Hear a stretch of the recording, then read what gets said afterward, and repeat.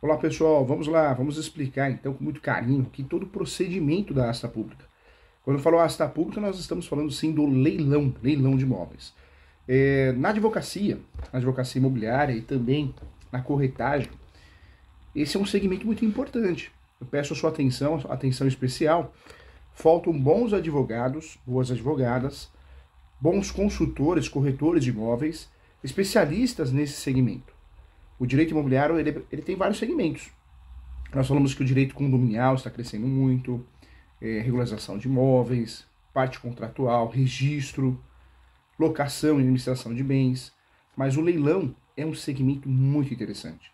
É, eu costumo dizer que leilão e desapropriação, o Brasil ainda vai passar por muitas manutenções, muitos projetos, muitas reformas. Então merece uma atenção especial. É um assunto que parece ser simples, mas não é. É um assunto que merece uma atenção especial, porque quando nós falamos de leilão, nós aprendemos muito pouco na graduação. Muito pouco. É, aprendemos que a asta pública é leilão, tem o leilão judicial, e fica por aí. Né? Um conhecimento muito raso. Isso não é bom. Então vamos lá, vamos aprofundar esse assunto tão importante, não só os conceitos de leilão, procedimento, mas todas as dúvidas que o nosso cliente possa nos perguntar para que a gente possa ajudar a prestar um serviço de qualidade, de excelência de consultoria, tá bom? Vamos juntos aqui. Vamos estudar também as teses, tá? Todas as teses de defesa, uma por uma. Quando eu falo de leilão, então, atualmente, a asta pública, nós temos dois procedimentos de leilão. O procedimento judicial. O procedimento judicial é porque o bem foi penhorado. Bem imóvel, imóvel. Foi penhorado e o procedimento quer gerar liquidez, quer gerar dinheiro. O objetivo do leilão é uma máquina de transformar o bem em dinheiro. Se você parar para pensar, qual é o objetivo do leilão? Vai transformar aquelas cadeiras, aquelas mesas, aquele carro, aquele imóvel em dinheiro para satisfazer a dívida. A dívida gerada em virtude de uma obrigação, de uma obrigação judicial. O leilão judicial, ele vem, ele acontece em virtude de uma dívida ou uma obrigação judicial ação de cobrança, ação monitória, de procedimento especial, cumprimento de sentença, cumprimento de sentença, e também a ação trabalhista, a reclamação trabalhista. Então o bem é penhorado, o carro, a moto, o imóvel, e vai à asta pública. Esse, esse bem sendo, sendo arremata, arrematado, o valor vai para satisfazer a obrigação. Então, esse é o objetivo do procedimento leilão: satisfazer a obrigação, para sanar o processo, para terminar o processo, para satisfazer a sentença, quando ela é pecuniária. O leilão judicial, por trás, nós temos um processo. Seja um processo de procedimento comum, como ação de cobrança, seja um processo de procedimento especial, como ação monitória, seja um processo na fase de execução, cumprimento de sentença, ou ainda uma reclamação trabalhista. Isso pode acontecer também na esfera dos entes federativos, não é tão comum, mas acontece também. O Estado, a União, por falta de pagamento de tributos, bloqueia o bem e leva o bem à asta pública. Isso também pode acontecer. Mas o mais comum no Brasil são sim os leilões judiciais provenientes de ações judiciais. Ações no mundo empresarial, aquelas ações de cobrança, obrigação de fazer, cobrança de título, execução de título extrajudicial, é, ações trabalhistas, né? Então isso é muito comum. Quero lembrar você também que o Código Processivo atual ele trouxe algumas novidades, algumas novidades importantes.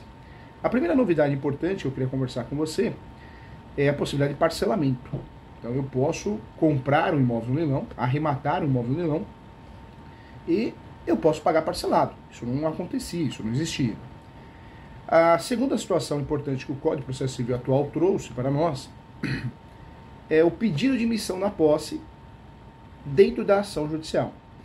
Quando eu arremato o imóvel no leilão, quando eu compro o imóvel no leilão, que o termo correto é arrematar, é, se tem alguém morando lá no imóvel, um mutuário, o próprio mutuário, alguém que invadiu, alguém que não quer sair, aquele, aquele que arrematou o imóvel, ele pode buscar o Poder Judiciário para ter a desocupação. E essa desocupação ela vai ocorrer como, professor Júlio? Ela vai ocorrer através de uma ação chamada emissão da posse, ou pedido de emissão da posse. Professor Júlio, quando que eu uso a ação e quando que eu uso a emissão? A ação de emissão da posse eu vou usar é, toda vez que não existe um processo em andamento. Eu vou usar a ação de emissão da posse. Quando existe um processo em andamento, seja uma ação de cobrança, uma ação de execução, uma ação monitória, uma reclamação trabalhista, o processo está em andamento, que gerou a asta pública, que gerou o leilão daquele bem. Eu posso fazer um pedido, um simples pedido, que precisa da assinatura do advogado, para a emissão da posse. Então, o próprio juiz daquele processo pode gerar a emissão da posse. Eu não preciso fazer uma ação. Foi uma nova inovação interessante do Código de Processo Civil atual. É, esse mecanismo é um mecanismo muito interessante para desocupar o imóvel para aquele que arrematou. Cuidado, nós temos o pedido de emissão da posse e temos a ação de emissão da posse. É, o objetivo dos dois é o mesmo, mas o pedido é dentro de um processo já existente. Uma simples petição, onde você informa que o seu cliente arrematou o imóvel e você gostaria da ordem de emissão da posse com força policial. É um pedido simples, uma folha, duas folhas no máximo. tem que juntar documento. O documento que você tem que juntar é a prova da arrematação e também a prova do registro. Quando você arremata, você pega a carta de arrematação e registra no cartório de imóveis. Então, ponto importante também, tá? Então, o Código de Processo Civil trouxe novidades que nós vamos aprofundar uma por uma, uma por uma, e todas as teses de defesa. Voltando aqui, então, nós temos o leilão judicial. O leilão judicial é em virtude de um processo judicial, o bem vai a leilão para satisfazer a obrigação. Quero lembrar você então que no processo judicial, no processo de verdade, nós podemos fazer um pedido de emissão da posse dentro daquele pedido, ou melhor, dentro daquele processo que originou o leilão. Tá? Então fique atento em relação a isso. Vamos lá, olha só que interessante. A segunda modalidade de leilão ela é mais simplificada. Nós estamos falando sim do leilão extrajudicial. Leilão extrajudicial. Professor, o que é o leilão extrajudicial? O leilão extrajudicial não tem nada a ver com processo, não existe processo. O leilão extrajudicial ele ocorreu, ou vai ocorrer, porque o banco autorizou, o banco que é proprietário, a instituição financeira, incorporadora. É, quando você compra um imóvel no leilão, você, o nosso cliente, muita gente fala, eu sou dono, eu estou pagando a prestação, eu não estou pagando aluguel. É melhor pagar minha prestação do que pagar aluguel. Não é verdade, né, gente? Essa prestação ela é dividida em juros remuneratórios e amortização da dívida. Alguns financiamentos você vai pagando só os juros remuneratórios, nem amortiza a dívida. Então, ou seja, você está pagando como se fosse um aluguel. É, a partir do momento que você deixa de pagar o financiamento imobiliário, na segunda até a terceira parcela, o leilão, com muita celeridade, ele vai ocorrer, o extrajudicial. Porque o banco que é o proprietário do imóvel, que financiou para você, que financiou para mim, através do financiamento imobiliário, alienação fiduciária, ele pode, está na lei isso, né? Tá, é, na lei que regulamenta o contrato de alienação fiduciária, está lá. Ele pode fazer o quê? Ele pode pegar o bem e mandar leilão. E é isso que ele vai fazer. Vai pegar o bem e vai mandar leilão.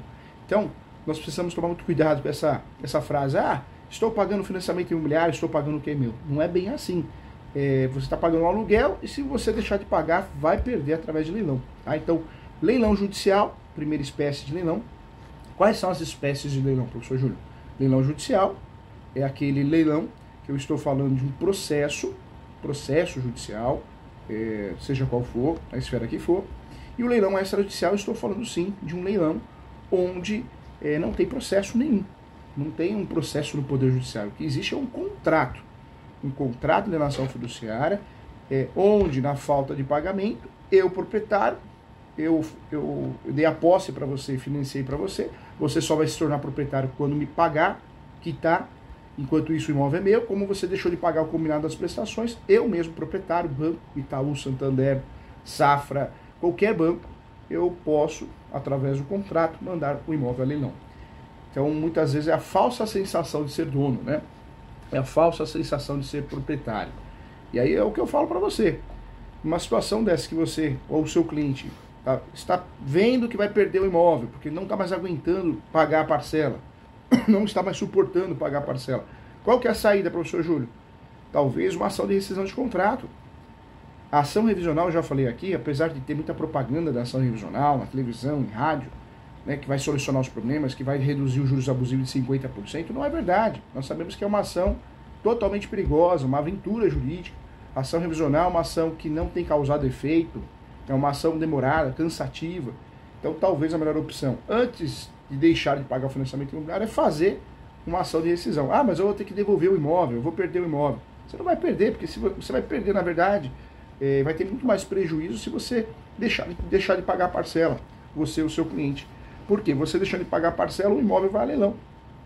Leilão extrajudicial. E aí sim, se você não sair do imóvel, vai ocorrer a emissão da posse. Então, muito cuidado com isso, tá, gente? Muito cuidado. Oriente o seu cliente. É, o advogado tem a obrigação, no financiamento imobiliário, onde o cliente lhe procura, eu sempre falo isso. Quando o cliente lhe procura e ele tem um, um financiamento imobiliário e está atrasado, ou ele está com uma, muita dificuldade de pagar, e ele procura você como advogado ou como advogada, poxa, ter coragem de, de cobrar honorários para não orientar nada, ter coragem de cobrar honorários para entrar com a ação errada, volto a falar, ação revisional é muito difícil ter êxito, a chance é menor que 1%, pode ainda né, gerar recursos, porque normalmente você não ganha em primeiro grau, segundo grau também não, terceiro grau, tudo isso tem despesas, despesas processuais, as taxas judiciárias. No Brasil, eu tenho que pagar para recorrer. Então, se essa pessoa já está, esse casal, essa família já está numa situação difícil, uma situação que não está conseguindo pagar o financiamento imobiliário, poxa, mesmo assim você vai é, influenciar e fazer uma revisional? Ah, professor, mas eu não sabia. Eu não sabia que essa ação revisional não dá em nada. Então está sabendo agora, está sabendo agora. É, não que você vai deixar de prestar o seu serviço, mas informa, assim, o cardápio, o leque de, de serviços que você pode oferecer. Já falei da ação de rescisão de contrato. É, ah, professor, mas vai perder o imóvel. Dá dois passos para trás, dá cinco para frente. Já falei aqui também da ação de exigir contas, quando o banco, a incorporadora, a instituição financeira se nega a prestar contas, uma saída, dá para chamar para uma conversa numa audiência de conciliação. Tem a ação de perdas e danos, também não é tão viável assim. Indenização no Brasil existe um controle, ninguém fica milionário igual nos filmes americanos através de danos morais. Então, explica isso para o cliente. Explica que a revisional é uma ação onerosa, demorada, a chance de êxito é muito pequena. Se mesmo assim ele quiser fazer, aí é outro papo, né? Aí você não tem culpa, mas você foi honesto. Nada melhor que a nossa consciência, hein? Então, cuidado, tá? Então, dois, duas espécies de leilões nós temos: o leilão judicial e o leilão extrajudicial. É, quero lembrar você que o leilão judicial, então, vem processo no meio. Você pode fazer uma emissão na posse dentro do processo, um pedido. Já o, o leilão extrajudicial, não. O leilão extrajudicial você tem que fazer, na verdade, uma ação chamada ação de emissão da posse. Tá? Então, muito cuidado aí. Isso é muito importante.